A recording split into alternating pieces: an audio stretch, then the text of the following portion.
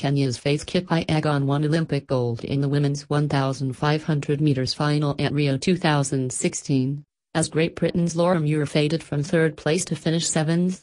British record holder Muir, 23, looked to be in medal contention at the start of the final lap but dropped off the pace with about 200 meters remaining. Kipai Kipyegon's time of 4 minutes 08.92 seconds meant she finished ahead of Ethiopia's Genzebe Dibaba, Portolan 10.27, and American Jennifer Simpson, Portolan 10.53. GB's Laura Weightman finished in 11th. I went for the win, said Muir. It's not every day you find yourself in an Olympic final. I was in great shape but the last 150 meters was not quite in me. I gave everything and I'm proud of how I ran. The early stages proved to be a highly tactical affair, with many of the favorites sitting back, and Muir led after two laps. I expected it to be a slow start and then for Kipyegon and Dibaba to come round, added Muir. I expected to have to react.